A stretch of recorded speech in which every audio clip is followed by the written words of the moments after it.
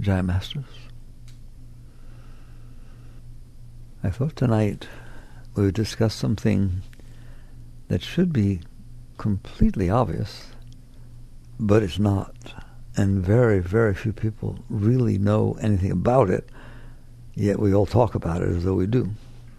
And that's the word will.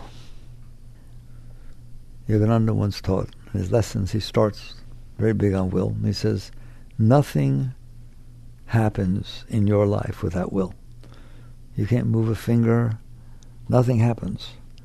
Will is the power that causes all your emotions and your actions and your words and your thoughts and so on. But you don't think about it. They're just there. So, do you have the ability to lift your arm when you want to? In most people's cases, yes, you have the ability to lift your arm. For mass, your arm is mass, and to pick it up would require some energy, some effort.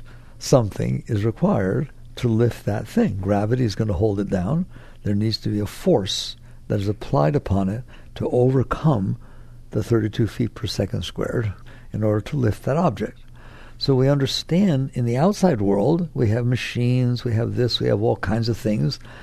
What is it that lifts your arm? What is the energy your arm?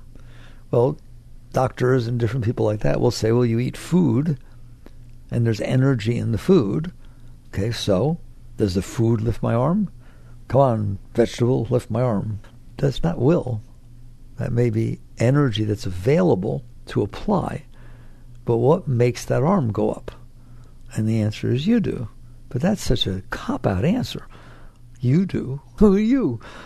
At some point, I love for people to think like this. You say, what is actually initiating and causing that arm to pick up and asserting will? I can't define will by using the word will, but that's what you're talking about, isn't it? What is asserting this willpower that causes yourself to walk when you decide to walk, that gets you out of bed? It's not easy to get out of bed. I once, I'm a programmer, right? I once looked at someone who tried to estimate what it would take robotically to get a robot to get out of bed. You have any idea how many moves that would take? This has to expand, that has to contract, and, and every, oh my God, wait till you see what you have to do to get out of bed. It's phenomenal.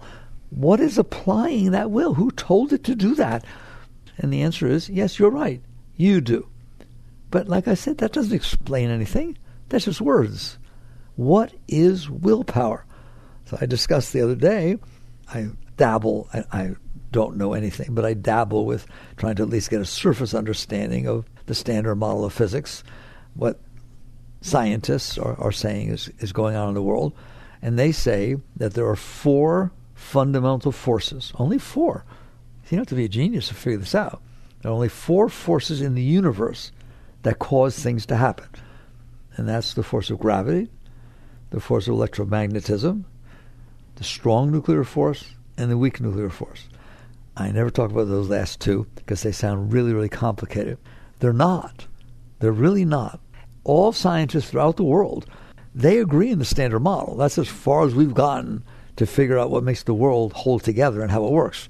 So if you say electromagnetism, you say, well, what's that? Well, there's a charge on electrons and there's a charge on protons, positive and negative, and they attract each other, and that's why atoms stay together. That's how big that force is. We're talking about fundamental forces. And gravity, we understand. That's why you're not floating off in space somewhere. You don't have to go, oh, they don't. It does it for you. There's a force. Just for kicks, so you don't be scared. What are the strong nuclear, weak nuclear? Well, I was taught, and so are you, that in the nucleus of every atom, there are protons, and they're all positively charged.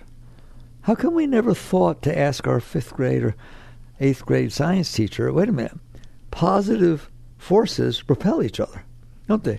Try to take two positive poles of a magnet. Ever done it? And push them together. You can't do it. There's this force pushing away. So positive or same negative repel each other. Opposites attract each other. So how come the nucleus stays together?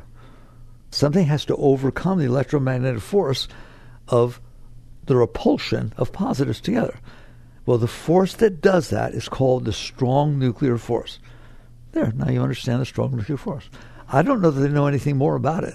they just know there must be some force that's overcoming the electromagnetic force of pushing the nucleus apart because there's all positive in there. There's neutrons, but they're neutrals. That doesn't matter. Ever think about it? No, no one ever thinks about it. Isn't that neat? How come in school, when they taught us, that teacher, you told us positives repel. So how can there be a nucleus of all positive forces? And the answer is because the scientists said, well, there must be. So we'll call it the strong nuclear force, the one that holds that together. Okay, we got that one down. Okay. Well, what's the weak nuclear force? Well, the strong nuclear force isn't strong enough to keep radioactive materials together. They have half lives, they fall apart. That's why you don't want any of that stuff inside of you. It starts falling apart. Okay, what force is the minor force compared to the strong nuclear force, but it must be there because they do decay. Oh, we'll call that the weak nuclear force.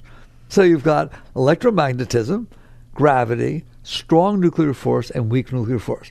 That is what all of science says are the only forces in the universe that are causing all things to be. That's why wind blows. Every single thing comes down to those forces. Really? I just moved my arm. Was that the electromagnetic force? It decided to move my arm? Well, no. I'm sure there's gravity holding my arm down. There could be electromagnetic repulsions to the air. Who knows? The point is, I tell the thing to move, it moves, doesn't it? And in fact, if you try to hold it down and I'm stronger than you, it's moving. What did I assert to make that happen? I asserted this force called will, and they don't talk about it. It is literally missing from the standard model of physics that there are things that move around in this universe, at least here, that are not done by those four fundamental forces. There's this force called will. Now, they have the right to say that that's not a physiological force in the outside world, because it's not. It's not floating around out here. They didn't miss it. But isn't it funny that they picked up their vial and test and they're doing will all the time to do the thing? Can you willfully make thoughts happen? I'm asking you a question. Can you? I can only back my way into will. It's everything, but nobody really talks about it.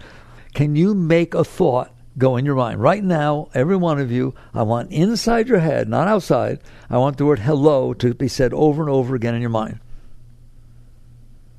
Did it do it? How did you make it do that? you asserted your will. It wasn't there before you asserted your will. When you stop asserting your will, it's not there.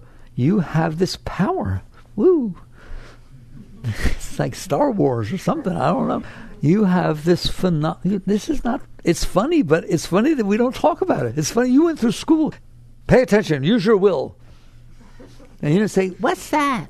I don't have any. Then what made your mouth move? Everything is being done through will. That's what's happening. So at least I'm talking about your will. So you can make thoughts. You theoretically have the ability to make an emotion. Ever fake cry? I don't care how old you were, anything, try to get someone's sympathy.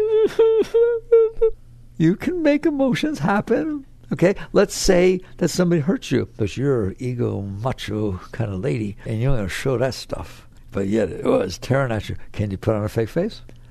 Can you put on a fake face? Can you hold your aura together? Can you put a smile on or make yourself cry? What do you use to make that happen? Will. There's one word for it will. Isn't that neat? Who talks about this? Nobody. Isn't that funny? It's everything. It is causing your ability to move physical objects and overcome gravity. It's causing your ability to control thoughts, emotions, and things on the mental plane, the emotional plane, whatever. It's not physiological, but your will still can control those things, can't it? Wow. Pay attention. Watch it happen. You'll see that every take a shower. You're using will every second of your life, aren't you? Both inside and outside. Well, maybe we should talk about will. That seems like a pretty important thing in your life, isn't it? Okay. Very good. What is will? Where does it come from? How do you have the right to assert that power, to overcome even weight and mass and the laws of gravity and the laws of electromagnetism? Like I said to you, if you take a magnet and try to push the ends together, they repel each other, right? Not if you're strong enough and it's not that strong a magnet. You can go there. You overcame the force of electromagnetism. With what? Was that the strong nuclear force that did that? No, I don't think you have control over that. Or the weak? Or was it gravity that did that? No. Isn't that neat? There is another force that they don't explain, that they don't talk about, that can overcome these other forces to some degree. And that is the force of will. It's strong, isn't it? It's really powerful. Okay, so take a breath. Where does it come from? I'll start at the highest level and work our way down. You're a conscious being. You're aware of things. You're aware of everything I just said to you. You're aware. We've talked about many times. That's the witness consciousness. That's the self. That's the Atman. That's the soul. It's the indwelling presence of awareness, of consciousness. Will comes from there. Now, they don't know that. That's why they don't talk about it. You meditate enough and go deep enough, you will see that that's where all your will comes from. When you focus consciousness, can you, quote, concentrate? What does the word concentrating mean? Minute orange juice? In a sense, it does. It's saying you are concentrating consciousness. That's what you're doing when you concentrate. That's what you're concentrating consciousness. You're focusing it. All right? When you hold a magnifying glass against the sun, the sun's shining everywhere. You're not going to get burned up. Go hold yourself a magnifying glass of a sufficient power and don't aim it at somebody because it'll burn up wherever it's aimed, won't it? Why? It's concentrating the power of sunlight. When you concentrate, which by the way you use will to do, when you concentrate, you are concentrating consciousness. And consciousness is a great power. It's a tremendous power. Have you ever had to concentrate your thoughts, like doing math in your head or trying to remember something? What does it feel like? You're tensing. you're, you're literally forcing willfully a concentration of consciousness, and it is a power. When you want to hold a picture of somebody in your mind, so remember what they look like, you have to assert will. And if you don't have to assert will, because it's got ingrained, we'll talk about that later, it got ingrained in your mind, it's coming up by itself, and you don't want it to, like your ex, and it keeps showing up, what do you do? You push it away. Have you ever pushed it away? Have you ever pushed anything away in your mind or your heart? Isn't it neat?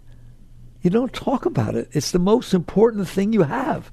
The most important thing you have is consciousness. Why? If you're not conscious, there's nothing happening, right? Or if it is, you don't know about it. Consciousness is the most important thing in your life, and I don't have to have a philosophy about it. If there's a whole bunch, I did this in the Untethered Soul. There's a whole bunch of things in the room, a whole bunch of people in the room and things in the room. It's a party. Okay? Take the people away. Are you still there? Are you still aware? Yeah, there's a piano, there's a chair. Take those away. You still aware? Yeah, the room's empty. How do you know? I'm still aware. Take your awareness away. How you doing? gone. It's over. Awareness is the most important thing you have in your life. There is no life for you with no awareness. Even Helen Keller, they thought she wasn't in there. Remember? She was blind and deaf, and all the different senses weren't working. And what they find out? That she had touch. It's a beautiful story. She felt the touch, and eventually they found a means of communication by touching. And she was in there just like you. She's in there using her will and creating thoughts and having emotions, but she just wasn't receiving sight, sound, etc. That neat consciousness is everything. If you're not conscious, why bother? In fact, if you're not conscious, there is no world. You don't know about it. There was a great master, Meher Baba, who told it this way. He said, Every object in the universe, every single thing that you've ever seen or ever thought of, your thoughts, your emotions, all these things are zeros. They're like a bunch of zeros. There's zeros all over the place. Okay? Well, what is zero worth? Zero. Put a one to the left of those zeros. What's it worth? 700 billion, trillion, quillion, zillion. That one is consciousness, and the zeros is form, is creation. It's a pretty nice way to look at it, isn't it? It gives everything meaning. That's the gift you've been given. That's who you are. You are the conscious being that's there. Fine. When you concentrate consciousness, when you concentrate consciousness, that's how you control your thoughts. That's how you control your emotions. That's how you make your arm lift. That's how you get out of bed. Come on, get a bit. I don't want to get a bit. Oh, all right. You put all that will and everything starts moving. Will, will. You've asserted will. And will is a power. In the ancient yogic philosophy, the Upanishads and the Puranas and so on, they talk about God being Chit Shakti. Chit Shakti. Conscious energy.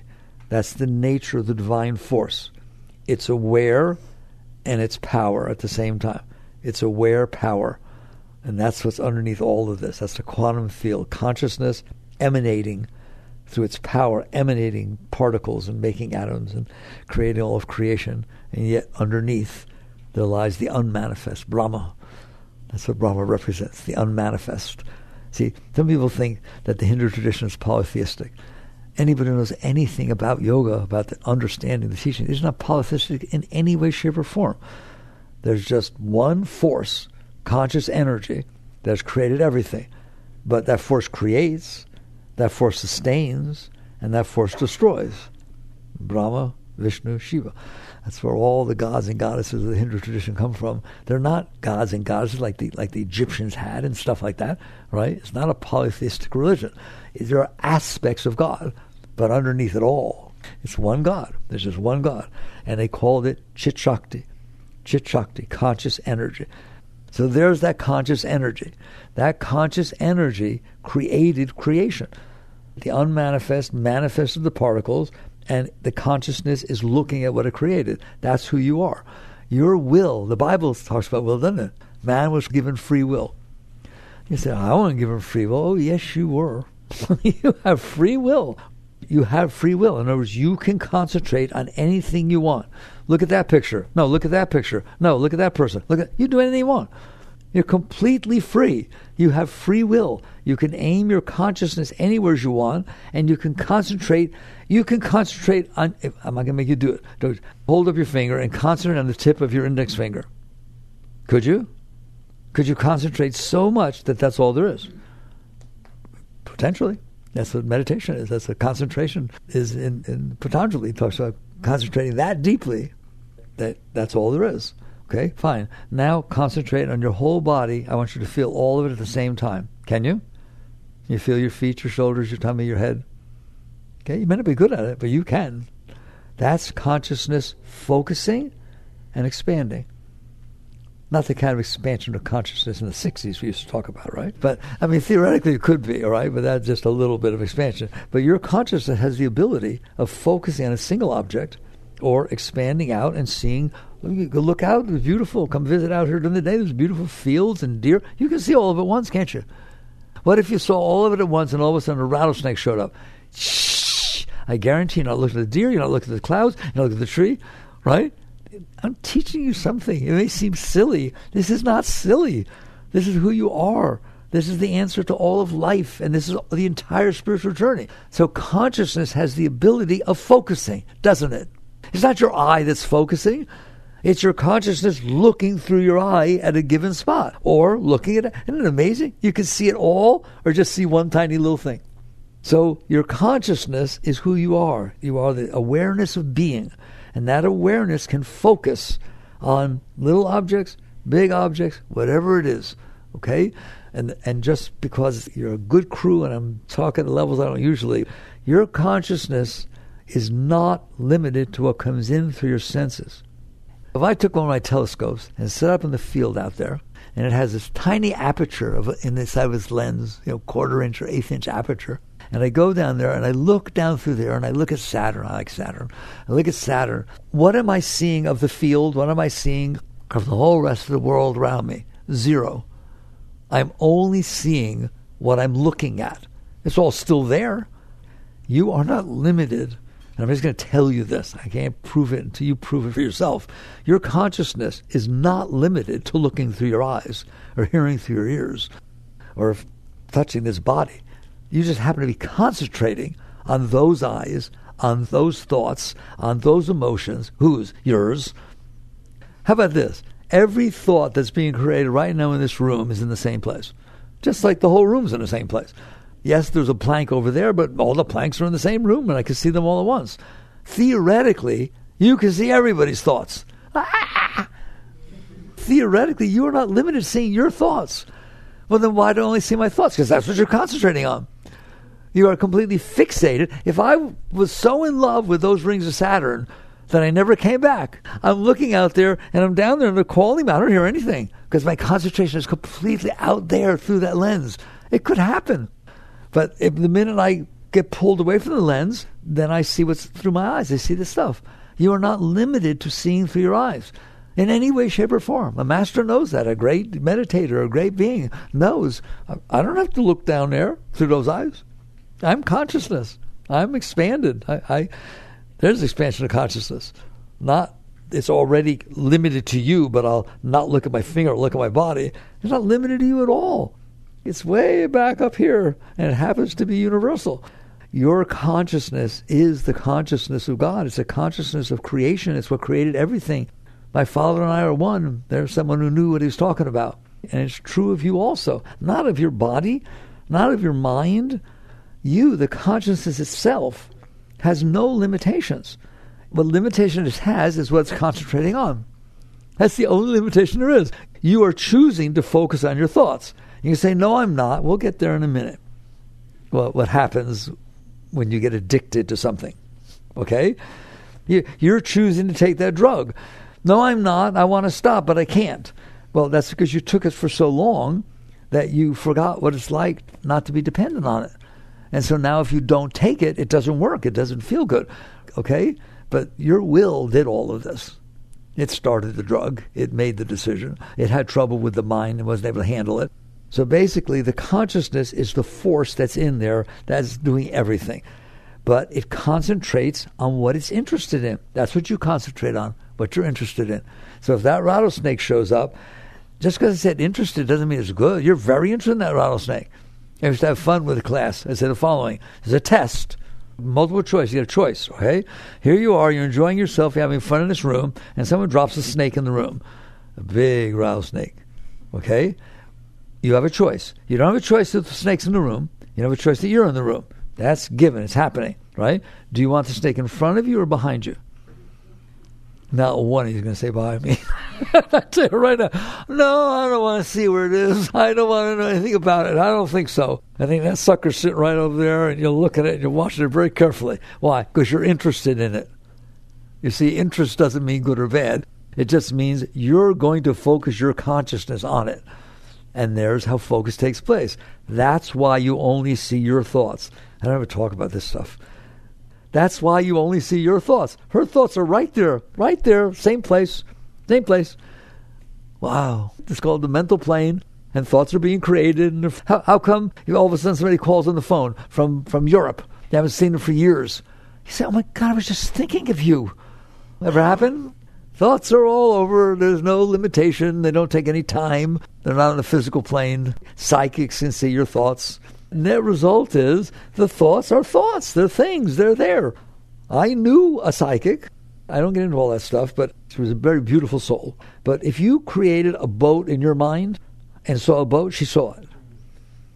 Why not? It's right there. No, you can't see it because you're busy looking at what, what did my mother do? Why did she do that? You're studying your thoughts. Just like you're interested in the rattlesnake, you're very, very interested in your thoughts, aren't you? So you're interested, and because you're interested, you focus willfully. Believe it or not, it is a willful act. It doesn't feel like it because now it's become a habit. We'll talk about habits in a minute. That's another big spiritual word. Will is as big as it gets. Habits are number two it, it's something that happens because you're used to focusing your consciousness in a given place. You don't have to assert new will. It goes there. That's what he used to call it. He said there was conscious will and subconscious will. Conscious will is you willfully do it. when I told you to say hello. You willfully, okay, I'll look at the picture. You do it willfully. If you do it long enough, that picture's staying in there. And nowadays, I, I guess they would say neural pathways get carved. It's really will asserted on an object that gets used to doing that, and it's hard to get rid of, isn't it? So it's like subconscious will. It's, it's habit formed will, is what it's called. But it's all will. It's all will. So basically, you're the consciousness, and you are concentrating on certain things. What are you concentrating on? I know, teacher, my thoughts. Which one of you are not concentrating on your thoughts? In fact, right now while I'm talking, you're still concentrating on your thoughts. I don't agree with this. Oh, this is neat. Someone's paying attention to those thoughts. There are thoughts being created, and your consciousness is aware of. How do I know I'm concentrating on my thoughts? Because you know they're there. If somebody sits there and says, Oh my God, I just keep thinking about her, she won't leave my mind, how do you know? How do you know that you keep thinking about her? How do you know that your thoughts are bothering you? How do you know that when you sit down and meditate that your mind won't shut up? How do you know? I, a new book I talk about that. Okay, I am a physician. There's no such thing as a bad meditation, but I didn't see white lights and stars and all these things. That's just another thing to be concentrating on. There's another thing to be aware of, another thing to put your will on. If you sit down and meditate and your mind doesn't shut up, and you get up and you come to me and say, I tried 15 minutes, my mind didn't shut for one minute. Here's what I get to say to you. How do you know? How do you know it didn't? How do you know that those thoughts didn't stop? I'll give you a secret. They don't stop all day. You're not paying attention. You're like in them, you're lost in them. Your thoughts don't stop all day. They're saying, well, there's a driver that this and I want to do that. Oh my God, I'm late. Oh my God, there's more things to do. Oh my God, how can I do any one thing? I'm so far behind. Where is he now? Is he being loyal to me? Is he not? Can I trust him? I. Those are thoughts. How do you know when you sit down to meditate that your thoughts didn't stop? Because you're a conscious being and you're aware that those thoughts were created. Good. That's called witness consciousness. That's a level of witness consciousness. I'm aware that I'm here and I called them my thoughts. What do you mean, my thoughts? My is a possessive pronoun. If you say this is my umbrella, I'm not the umbrella. By definition, I'm the one that owns the umbrella. You are sitting there saying, I am not my thoughts. They're over there and they wouldn't shut up when I wanted them to. Therefore, you're not your thoughts. And you're not your feelings. Oh my God, you hurt my feelings. Whose feelings? What you said hurt my feelings. How do you know? You hurt my feelings. Feelings are things you have. Do they just stay there all the time exactly the same? No, they come and they go and then they change. What if I say, Oh, I'm so sorry? I'm so sorry. Okay, now my feelings feel better. Who are you? Who's in there? And what's happening is you in there, the consciousness, is aware of what passes before you. And what passes before you is what comes in from the senses, the thoughts that get created in your mind and the emotions that you have. The trouble is you're so interested in those. You listen to me now. This is the this is the I there's the rub. You're so interested in your thoughts. You're so interested in your emotions and you're so interested in what comes into your senses that you lose the sense of self. You project your concentration on those objects so much that you're down here instead of back here watching them. I see a car driving by. That's fine. You can see a car driving by. Who sees the car? I do. I want that car. I wish I had a car like that. Oh my God. No, that's the kind of car that my brother died in. It was years ago, I don't want to see that car. What is that? The car caused thoughts. Are you interested in those thoughts? Oh, yeah. Oh, yeah. How interested? You could get lost in them, couldn't you? You do all the time. All of a sudden, they are who you are. You are your thought. Most people think they are the thoughts. If all of a sudden your thoughts are saying, "Oh, I like her," "Oh my God, she's beautiful," "Oh my God, if I could go out with her, that'd be so beautiful." What is that? That's me. No, it's not. They're thoughts. They're just like any other thought. A thought is a thought. A cloud is a cloud. A thought is a thought. An emotion is an emotion. They're things in the universe, not the physical universe, but on the mental plane, emotional plane. How do you know they're happening? because I'm aware, I'm conscious. Is it the same consciousness that's aware you're having nice thoughts and aware you're having not nice thoughts? When you feel good, you know you feel good. When you feel bad, you know you feel bad. Is the same you that knows that? Of course it is. There's just one of you in there. This is will. When consciousness focuses on an object of consciousness, how does it do that? By concentrating. By fo- ooh, the words. By I said focuses. What does that mean? Focuses.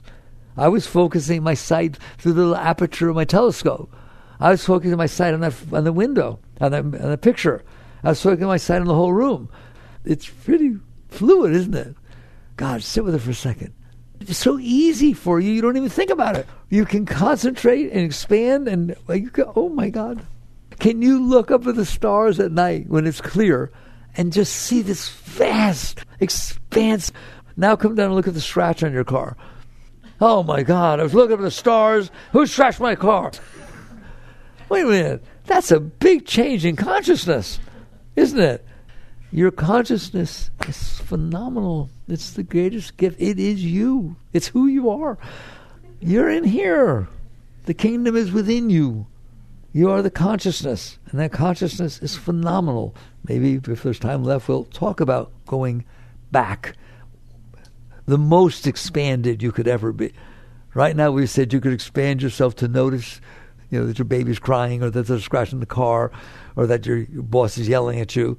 You know, at the same time your boss is yelling at you, all the stars and galaxies are still there? Not to you. Because you are where your consciousness is, aren't you? And where is your consciousness? Wherever you focus it. Now, you don't think that's your will that focuses it on your boss while your boss is yelling at you. It is a willful act. Someday you're going to find out that while your boss is yelling at you, you can be doing your mantra. No. Yeah, somebody once asked me, are you saying that in our everyday lives, when we're not meditating or anything like that, that while it's happening, while you're having an argument with somebody or while something's happening, that you can be conscious then and be aware of what your thoughts are doing and what the person is doing, or afterwards you can look back. You're a conscious being. You're conscious of what's happening. You're in the witness all the time. There's no coming and going. There is because what's happening is so interesting to you doesn't mean positive, is so interesting to you that you are focusing your consciousness on it. You're limiting your consciousness to the fact there's a roach running across the floor. There is also two trillion galaxies, but not in your world, there's a roach. Or there's somebody yelling at you. Or there's somebody hurt your feelings. Your consciousness is automatically focusing on what you're most interested in. I think it's very nice that you're so interested in a roach. They should be very proud. Look, she likes me. Look at it. Everywhere I go, she chases me. she wants to have a relationship. In fact, you do have a relationship with the roach. Not a very good one. Are you hearing me? This is all expansion and contraction of your consciousness, of the focus of your consciousness. It's all about the focus of your consciousness. This is why, if I go, and, and I don't study this stuff, but I, I read them once. If you go to Patanjali's Yoga Sutras, which is the, the core of yoga. It's, it's, pointed to by the great masters as one of the greatest things written, all right? Written a long time ago. He talks about the different states of pratyahara, dharana, and dhyana. Well, what is pratyahara? The ability to withdraw your consciousness from the senses. You can't meditate if you're busy listening and hearing and looking. Your consciousness is still being drawn out through your senses you're not meditating. That's not called meditation. Yogananda tells a story. He said that he had a disciple once who said nothing happens to her during meditation. She's meditated for a long time and she keeps trying and doing everything and nothing happens. And Master didn't believe that was possible. You know, if you do his techniques, Kriya Yoga, whatever it is, and stuff's going to happen. And so he asked her, he said, well, Where do you meditate? She said, In the living room. And is, is it quiet? She said, Oh, yes, it's very quiet in the living room. Well, he says, Do you hear anything? Well, the maid is in the other room and she's supposed to be cooking dinner and she always gets it wrong. And I can hear what's happening there. And I'm checking to see whether the sounds are what I would expect. Well, that's not meditating, okay? Because you haven't performed pratyahara. You haven't withdrawn your consciousness from the physical senses. You're still out here listening to it, picking it up. All right? So the first is the withdrawal of your awareness, of your consciousness from the physical senses. Can you do that? You do it a lot of times. You know when you do it? When someone you really love a real lot hugs you, you go bye bye. Okay? There'll be special moments that are so beautiful. You don't hear anything. You just close your eyes and you go inside, and there's just beautiful energy flowing inside, and you don't hear nothing. It can happen with a beautiful sunset it can happen with all kinds of things. It can happen because you got so scared and then you, you went into a state of panic inside and somebody's calling your name and you don't hear, you don't hear. Can it happen? So you all can do pratyahara, not willfully. That's the difference. But it can happen sometimes. So the ability for consciousness, usually you do it by concentrating on something else other than your senses. Like I said, you feel love or this beautiful feeling inside. So your consciousness gets drawn into that and then you don't hear anything, see anything. Doesn't matter. You're gone. You're bye bye. It's not a bad place to go, is it? Don't be afraid. okay? And so basically, that is what they meant by pratyahara. You draw your senses. Then what's the second stage? Dharana. Well, what's dharana? Concentration. Well, I thought pratyahara was concentration. No, pratyahara was concentrating on something other than your physical senses. If you can sit there and concentrate so that you're not picking up your physical senses. And you know, when you, I, I kind of have to tell you, is it possible that you could go into a state at night, lying in your little meditation bed, we'll call it that, horizontal meditation position. There is such a thing. What's it called? Shavasana, okay? That's the totally relaxing after asanas. So you go in there at night and you practice Shavasana. And is it possible that someone could come into your room and walk around your room and talk to you and you don't hear a single thing, nothing, you don't even wake up, you didn't even know they were there? Not only is it possible, you go there all the time. That is pratyahara. You have withdrawn your consciousness from the physical senses. Believe me, they're still there. Your eardrum is still vibrating. So I don't want you to think of these things as weird. You have these abilities. Consciousness willfully withdrew itself from receiving the physical senses. Then what's the next thing? Dharana. Now that you have withdrawn your consciousness from being distracted to be drawn out by the physical senses, are you still there enough to willfully concentrate on something? A candle, the third eye, mantra, your breath, I don't care. Are you still there, even though you're not being distracted by the physical senses, to practice one pointed consciousness? Now, this is about will. Every bit of this, you see this, everything I'm talking to you about is will. How would I one pointedly concentrate my consciousness? By concentrating it on one point. That's how you do it. Master used to say third eye. Yogananda, a very great master, and taught how to achieve enlightenment, how to merge with God. And one thing he said, he taught Kriya Yoga. Most of you have heard that. This is a technique that his lineage taught. And somebody once asked him, Master, is there any other technique to reach enlightenment, the highest state in this lifetime, other than Kriya Yoga? And he shocked his disciples by saying yes. They stood up. What do you mean, yes? You've been telling us all this ever since we met, you. And he said, Yes, there is. They said, What is that? Take your attention, key word, take your attention, put it at the point between your eyebrows, and never take it off. This is a wonderful way to talk about will. First of all, what do you mean take your attention? Your consciousness can concentrate. That's what your attention is, that which you're concentrating on. So he's sitting there taking your consciousness and concentrating on what's called the third eye, the sixth chakra, concentrating it up here. He called this the center of Christ consciousness. This is the center. Yogis teach this, and you're going to find out that it's true. Not because they said it, but because you're going to go deep enough if you practice properly that you will reach a state where you realize all of your consciousness comes in and focuses on the third eye and is distributed throughout the rest of your system. You don't know that because you're so busy downstream. You don't know what's happening where the water's coming from upstream if you're busy drinking it down here. You have to be willing to not drink it down here to be able to see where it's coming from. So this is the center of will. It's the center of consciousness. It's the center of Christ consciousness, he called it. So that basically, when you focus your attention here, it doesn't go down there. Down there's not negative. It's just the fall from the garden. That's literally what it is. Your consciousness goes down, gets all involved with the body, gets all involved with your feelings and your emotions and your thoughts and your whole personal self, you know, that whole messy, messy thing that's down there. If you concentrate, you're not able to do it right away, but it's still fun to talk about. I'm talking about will. If you were able to concentrate your consciousness at the point between your eyebrows and not take it off while somebody's telling you how much they love you, oh my God, you're the most beautiful person I ever. Woo! Right? Or yelling at you or telling you that you did a terrible thing which you never did. Okay? Can you stay here? Not a chance. You're capable. Why would you not be capable of putting your conscience anywhere you want? So the reason is because you're addicted to being distracted by your emotions and distracted by your thoughts, your personal thoughts. What I like, I don't like this, I don't like this. There, okay. Because you don't like it, a thought is being created in your mind that's very, very powerful. Therefore, your consciousness is being drawn right there. And if you were trying to hold it point between your eyebrows, you don't stand a chance. That's what you mean when you say, I fall, I get confused, I can't keep it. When I'm meditating, I can do something, but the minute I stop, somebody does something, somebody says something, something I don't like happens, next thing I know, I'm not there anymore. That's why. Because you're more interested in your thoughts than you are the point between your eyebrows. You're not willing to concentrate sufficiently at a neutral, impersonal point, because impersonal, you want to go up above yourself. Christ says you must die to be reborn. That's what it means. Are you willing to let go of your personal self? Are you willing to not be Sally, who's married to so and so? Doesn't mean you're not married. Doesn't mean they don't call you Sally. Doesn't mean you don't respond.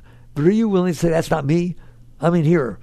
I am the consciousness that is aware that the thoughts respond to this and have preferences and so on. But I am the consciousness. This is what it means to transcend. This is what it means to transcend yourself. That's what it means to die to be reborn. That's everything Christ taught. Everything. It's everything Buddha taught. Everything. It's all the deep spiritual teachings.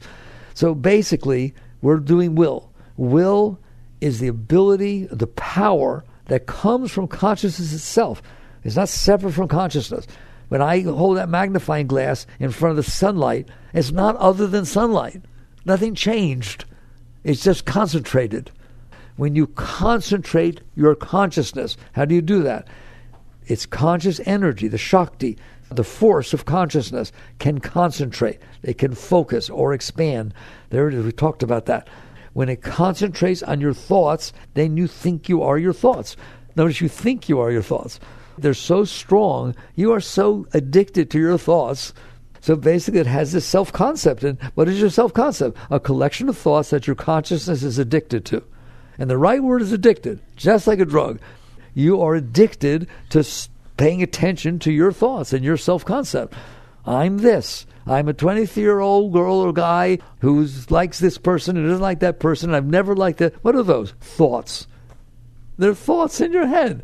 Do they ever change? Just fall in love with somebody else and see if it changes. It's amazing to watch. Here's this person has this self concept. They like doing this thing. They're interested in those things. Blah blah. Then they fall in love with somebody, and there's a different person who has different views and different opinions, and now their whole purpose of life is different. Those are thoughts. They're thoughts that change. Can they change? Have they ever changed? There are thoughts. They're not you. No thought you have is more you than any other thought you have people make up different stuff. Oh, this is not working. I'm going to change my personality. I'm going to change how I interface with people. Have fun, do a hairdo inside. And you just have a different set of thoughts and a different self concept. Yes, I used to believe that, but now I don't. It's okay. It's fine. I'm not saying you can't do it, but please understand their thoughts. So why do they feel so personal? Because you're focusing on them. If you didn't focus on them, it wouldn't seem so personal. I told you this this whole thing about relationships. It really shows something, and there's nothing wrong with it. You were focused on a given thing. This is what I wanted to do and wanted to grow up to be and who I wanted to be with, and I wanted to have children or I didn't want to have children, so on. Now go fall in love with somebody, really in love, strongly in love with somebody, and all of a sudden now I want to have children. I didn't know what I was thinking about. I was I wasn't ready yet. And all of a sudden there's all this rationalization, all this stuff going on as to why these are the thoughts that I now am. This is me now. Does it happen? Okay. It's because consciousness is who you are. Going to cry. It's who you are, it's who you always were. And you are focusing on a set of thoughts. Freud figured out this thing about id, ego, and superego. He basically analyzed your thought patterns. They're all thoughts. It is this, the ego is that, superego is this. They're types of thoughts. And he noticed how they got in there and why they are the way they are. But he's just analyzing thoughts. He's not analyzing you. If we ask him, Sigmund, does a person in there see these thoughts? Well, of course they do. Otherwise, they wouldn't react to them. If your super ego says, don't do that. Can you literally hear your mother or father or preacher or whoever in their voice talking inside your head telling you not to do something? They are thoughts. They're not you, none of them. You are the consciousness that is aware of the thoughts. The trouble is, they interest you so much, you're addicted to them, so that they bother you. And if they bother you, you pay more attention to them. And if something really bothers you, that's who I am. I'm the one who I'm bothered by this. I'm not going to put up with this. And I can't believe it bothered me. And I'm never going to let this go, ever. And if it tries to go away, I'm bringing it back. You'll be sorry. For the rest of my life, I'm going to suffer because you did that. So your consciousness becomes aware of whatever you're most interested in. That's what it does. That's what it is. And that goes for your thoughts, that goes for your emotions. And then what you do is you try to create an outside world. Wait, try to create? Who tries to create? Will.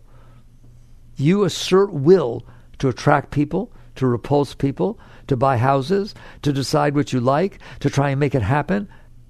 You are willfully asserting your. People say, "I've learned to assert myself." Ah, that was a big thing in the '80s. So people learned to assert themselves. It doesn't change a single thing we're talking about. There's nothing holy about asserting yourself and not asserting yourself. What's holy is the self, itself. So when you assert yourself, you're saying, "I'm going to make a decision in my mind." This is what I believe. This is what I want to happen. I'm going to visualize it. I'm going to assert myself to get what I want. That is consciousness lost in the ego, defining itself as the one who likes this and doesn't like this and wants this, and I'm strong enough to make it happen.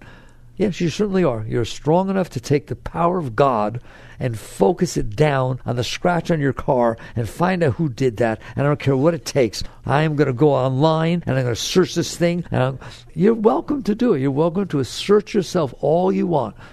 So that is an act of will, and that's what we're talking about. When you assert yourself, you're asserting your will on what? On a given thought pattern, on a given emotion pattern.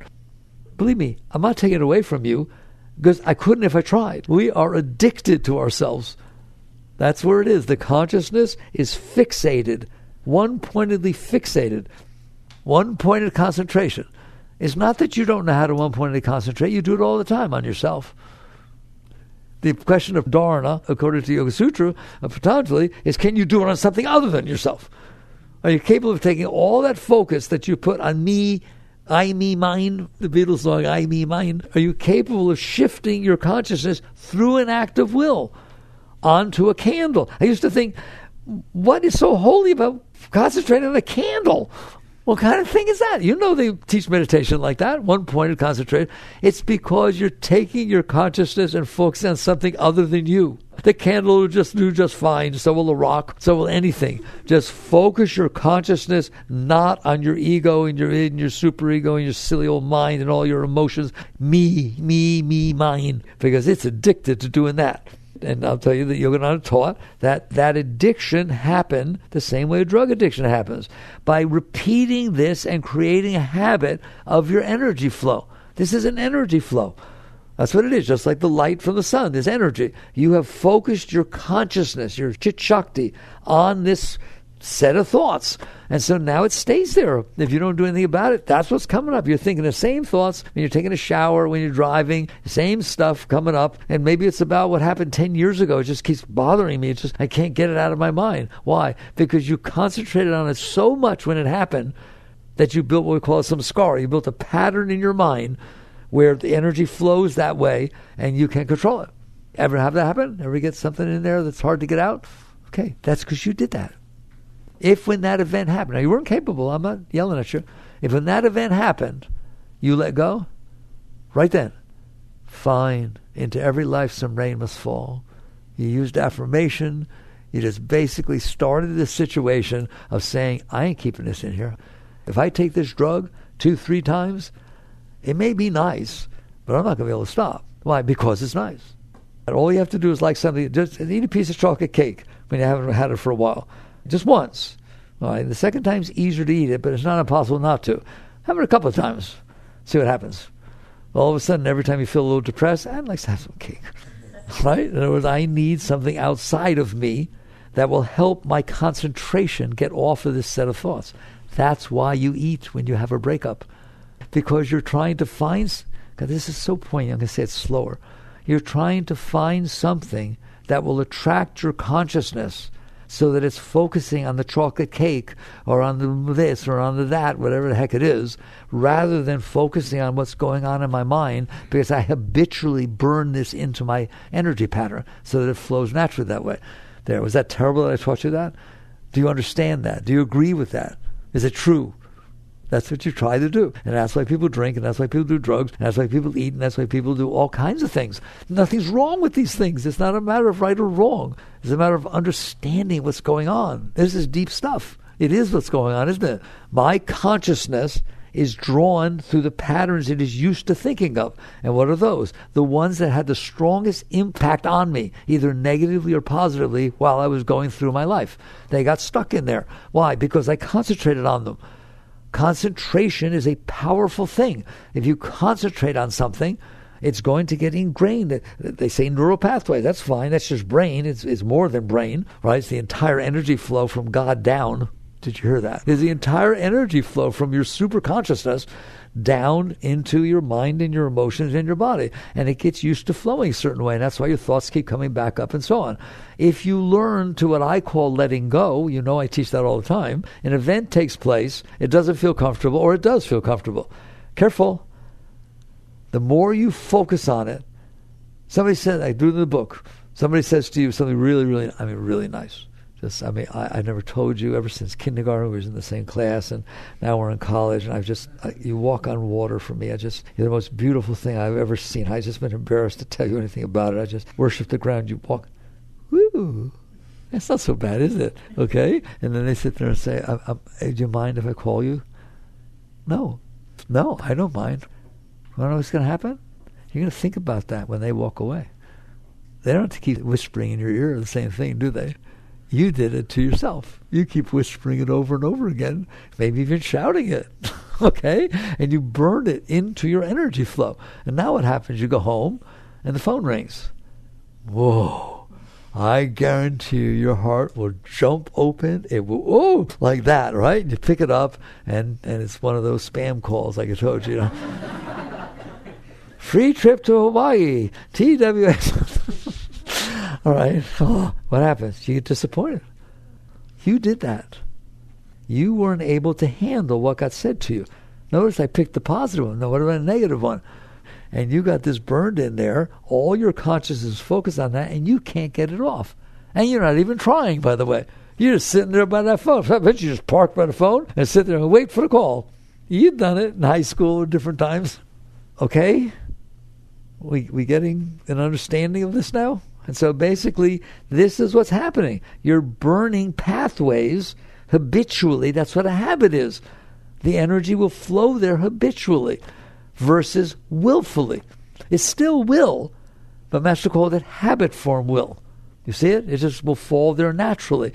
All right, so now you understand what will is. I don't talk about this stuff at that level because unless you go deep enough inside yourself, I can't prove it to you that will comes from consciousness that it, is the power of consciousness concentrating. There, that's what will is. It is the power of consciousness concentrating. It creates, just like the sun emanates solar winds, doesn't go anywhere, it's just emanating this. The self emanates this power of Shakti, and you focus it. You focus it. You don't even think about it, you just focus it. But it does it habitually. Something scares you, all of a sudden you're afraid to go in the basement anymore because it was that strong. If when it happened, you neutralized it, I'm gonna have to stop because we're running out of time. But this is an important talk. This this is yoga. How you like that? That's what we're talking about now. Everything I've talked about so far is yoga. Let's say you went in the basement, you heard a noise, you got real scared when you were little, and now you don't ever go in the basement ever again.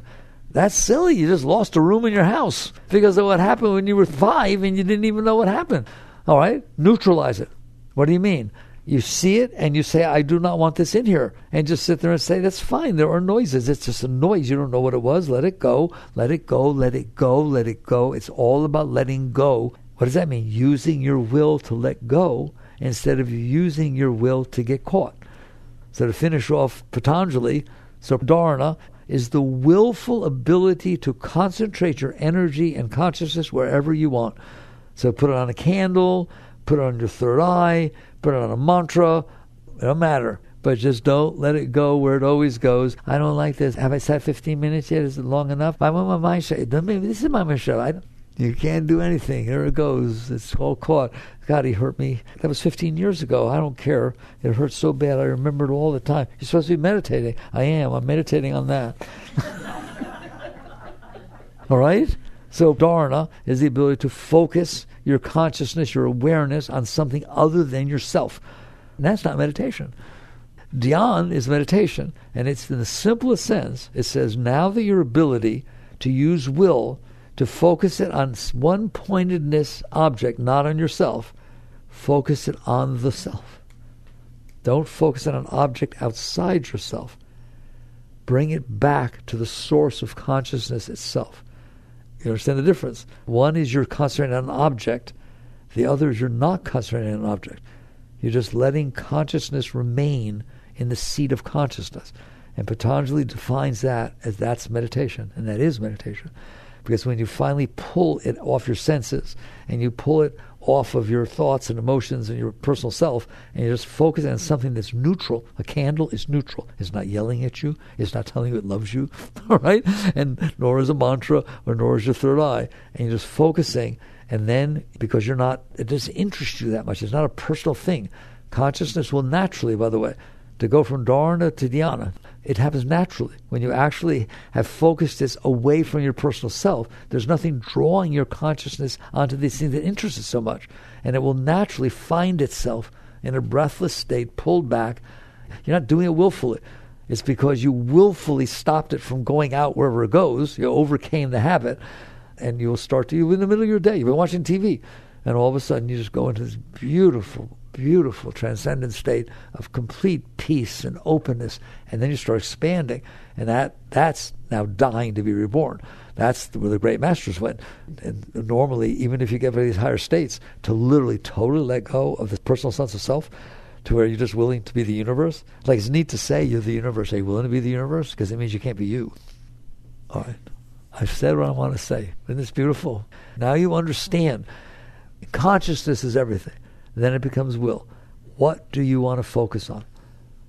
Who are you? What's your real intent? You go about your life and you're going to use your will. That's perfectly fine. You're going to have relationships. You're going to have children. You're going to have all kinds of things. You have ups and downs, what kind of thing go on. Can you stay back here? Are you aware that you are the awareness that is noticing all this? You're not any of it. You're just aware. And what will happen is every single bit of your life will raise you everything you go through. Sure, I have a beautiful relationship. It's not always so beautiful, is it?